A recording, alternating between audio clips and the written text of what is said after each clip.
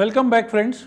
So in this particular session, we will be continuing our discussion which we had related to the assignment model. So in this session, we are going to take some problem which we face. Let's take our first case when which is named as unbalanced assignment problem.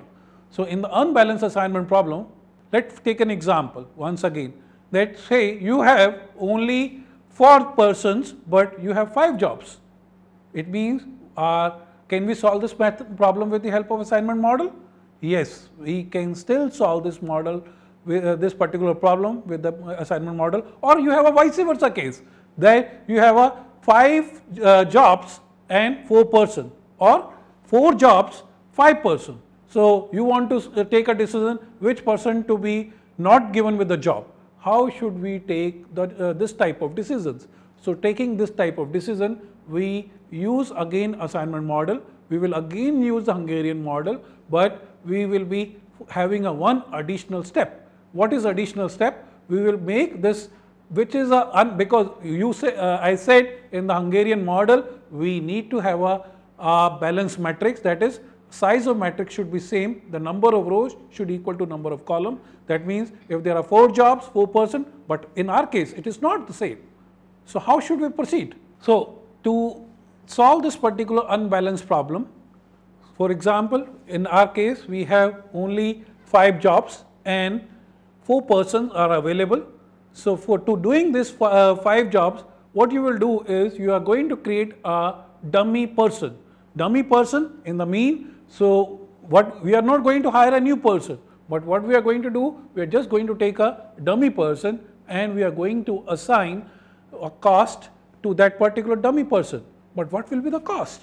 The cost for that is 0 because that person doesn't exist and that person is not actually going to do, do that job. So, we are going to put the value 0 for this dummy person. So, with this adding a dummy person our matrix has become a balanced matrix that means we have now 5 jobs and 5 persons. So, what we sh how should we solve it now? Now this becomes a normal problem which we has used as a Hungarian model which was a balanced matrix. So similar problem has become. So we can solve this problem by using the same Hungarian model and try to solve the problem with the similar steps which we mentioned in the last session. So we will be following same steps and try to solve. So what will be the final solution?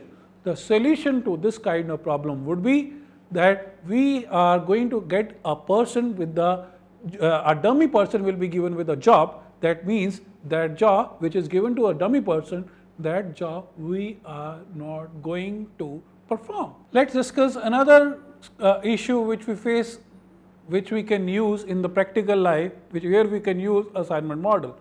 See we have said assignment model is used when you have a minimization you want to minimize the cost but can't, can, can't this model be used if we want to maximize our profits or maximize the revenue or maximize the sales in a particular region or maximizing the outreach of our program in a particular region? How should we go ahead with those kind of situation? Can we apply assignment model? Answer is again yes. We can apply assignment model, we can apply Hungarian model, but we need to do some little modifications. So, what modification we are going to make in that? So, we are going to those make those modification, we are going to rewrite again the matrix which is given to us. So, but this matrix is not a cost matrix, it is given as a profit matrix. So, or revenue matrix. So, we will convert this profit matrix or revenue matrix into a loss matrix. How we will convert that loss matrix? So, we will convert this matrix in the loss matrix by selecting uh, from the whole matrix of all cells we will select what is the maximum value. So, we will check what is the maximum value in that maximum value cell we will take that particular cell and from this particular value we are going to subtract all the values in the matrix. That means all cells will be subtracted from this particular highest value. So, that derived matrix which we are going to obtain is named as loss matrix. So, loss matrix is nothing, it is just similar to our cost matrix. So, this cost matrix we can apply the similar method which we have used on the earlier models that is the Hungarian model we can use similarly and find out the solution for our problem.